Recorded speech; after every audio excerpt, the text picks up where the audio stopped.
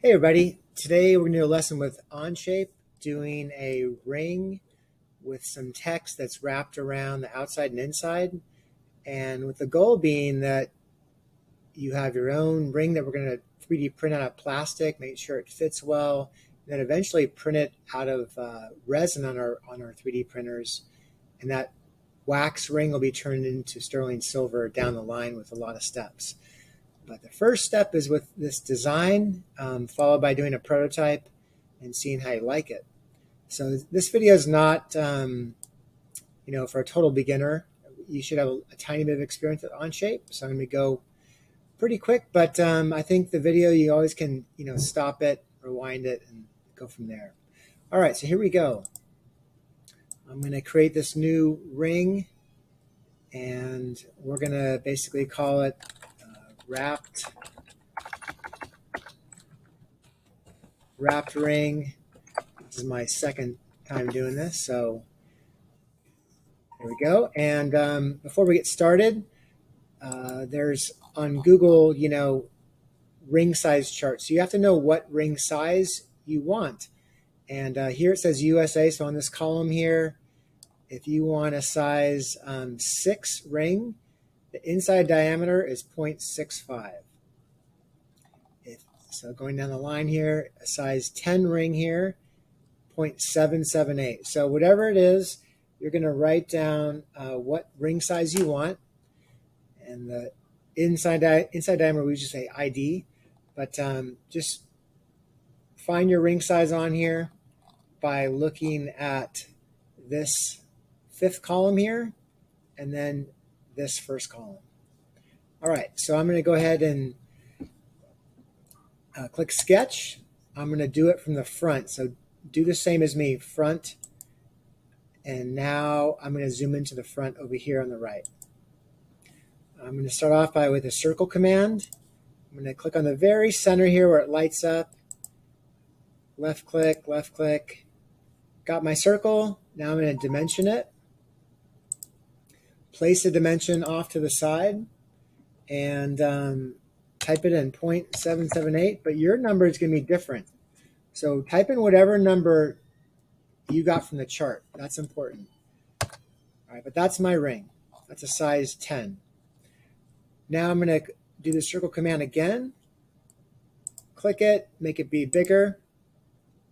And now, once again, dimension. So I'm going to click on the outer circle left click, and click on the inner circle, left click. And so now my dimension basically is going to be how thick is the ring? How about 1 16th? We have to save our silver. So um, 1 16th would be doable for us. All right, so we got 1 16th. And now what I'm going to do is go over to extrude, right here, extrude and I'm not going to do an inch. I'm going to do a quarter inch. So 0.25, enter. And now I'm going to save our sketch. So our sketch one and extrude is done. Now I'm going to use the fillet command right here. Left click that. I'm going to click on the inside of my ring and it's going to put this rounded edge there so it's not going to uh, cut me. Let's look at 0.03. You like that more? Maybe you want something in between. So, you know, it's whatever you want here. Just take off that sharp edge with the fillet command. And on the outside, I'm going to do the chamfer command. So you learn a new command. So chamfer also in the world of metalworking takes the sharp edge off objects. So I'm going to click chamfer. I'll do this outer.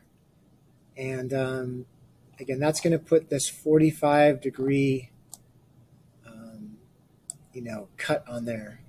And again, you could do um, whatever, whatever you think looks good. But if you get a red number, you probably got something too big in there. So 0.02. If you like it, green checkbox. All right, so my ring is basically uh, done. So now it's time for the fun fun part, doing the doing the text.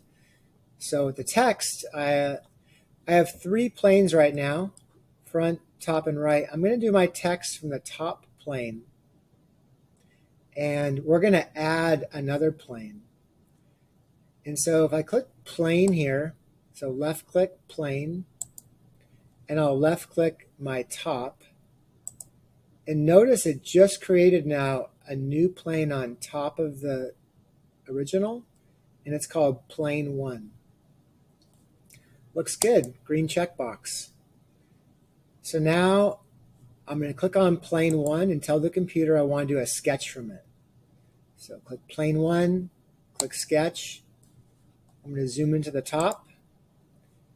And as far as the text tool goes, I'm going to left click this and I'm going to, you want to not place the text tool outside this ring area. Let me, let me be more clear.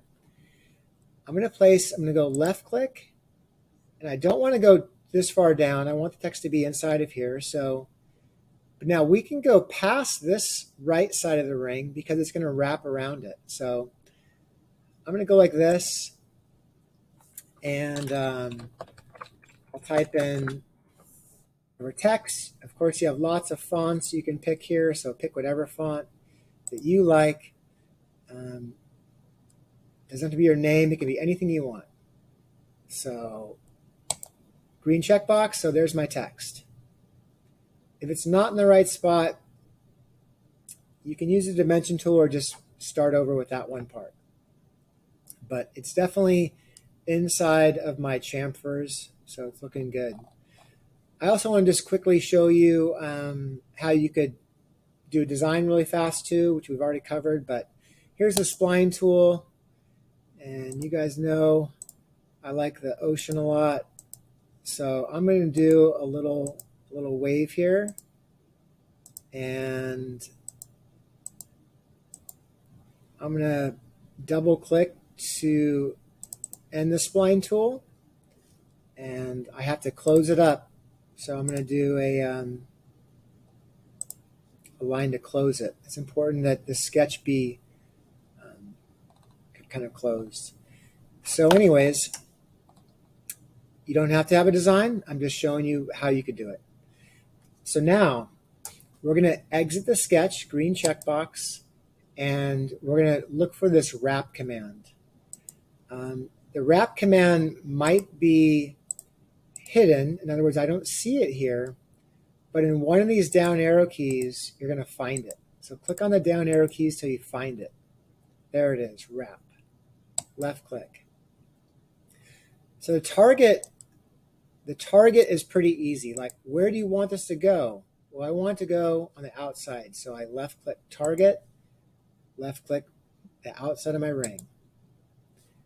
Tools, it's kind of asking you, hey, what do you want to wrap? I want to wrap this text and design. Now you might think you're done now and hit green checkbox, but you do not want to do that. You want to go from surface over to solid. And then you probably want to put a small number in here like 0.01 or 0.02, something pretty small.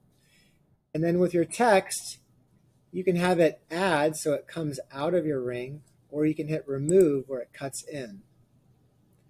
Um, a lot of silver jewelry tends to have black in the cracks and polish on the outside. So I'm kind of a fan of remove, but you pick what you want. Um, outside could be probably add or remove, but make make the number be small here.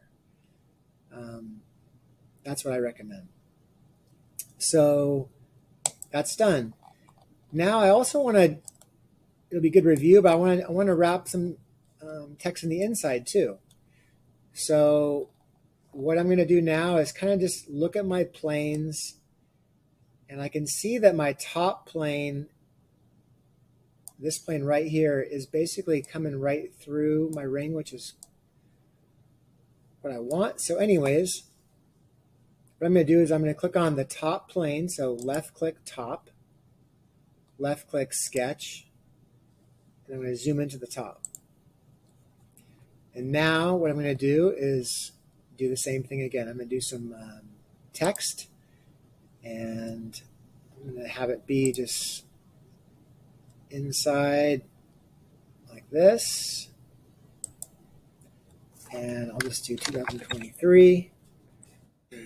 Got my different fonts. You can pick whatever font you want. And I could do the green checkbox. So there it is. And that's what it looks like. So now I'm going to exit my sketch by saving. I'm going to go over to the wrap command. My target is my inside of my ring, so left click the inside. My tools is basically make sure you make sure it all highlights up here. Um, but I will say that it's kind of kind of funky backwards, you know. It's not what I want. So you may or may not have to hit this flip alignment button. But that looks what I want. So this, not what I wanted, but that looks better. Same thing, surface, not what you want. Go over to solid. Inside your ring, you probably want to remove it so it's really comfortable, but um, it's up to you. And don't do 0.1, maybe like 0.01 or 02. Um, so basically,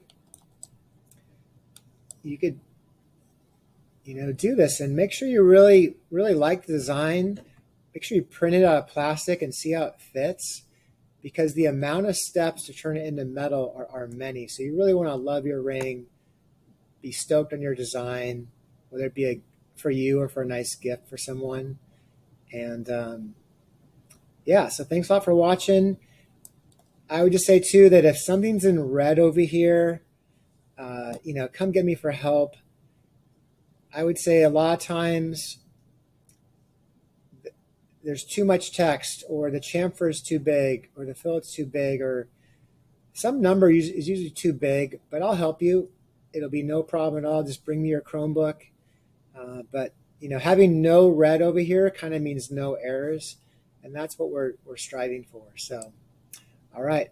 Have a good one. Thanks for watching.